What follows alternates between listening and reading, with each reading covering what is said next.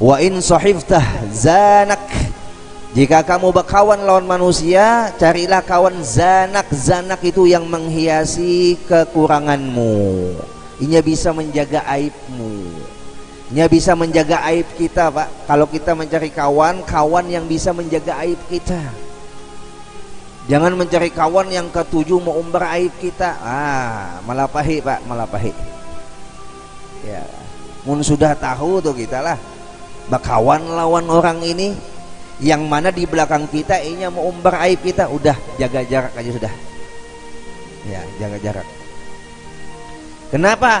Karena kadangkala kita ini kalau sudah merasa dekat dengan seseorang kada apa jurang tuh? Kada baatret lagi hendak berkisah tuh kada baatret lagi. Kada asaan lagi hendak berkisah tuh.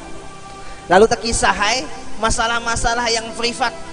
Karena sudah dekat kisahnya nih terkisah masalah di rumah. Terkisah masalah hal-hal yang privat tadi. Eh ternyata yang dikisahkan ini orangnya kada amanah. Kada bisa menjaga aib kita. Bukannya memberi solusi malah mengumbar caci maki di luar atau di belakang kita. Uh ini orang kada kawadi kawani